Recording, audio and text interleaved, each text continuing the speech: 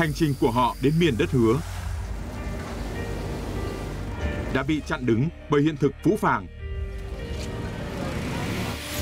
Đấy. Hy vọng vừa nhen nhóm thì đã bị dập tắt. Và khát khao của họ dần biến mất sau mỗi trở ngại trên đường đi.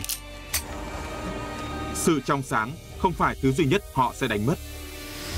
Đón xem Giấc mơ vàng trên kênh Cinema World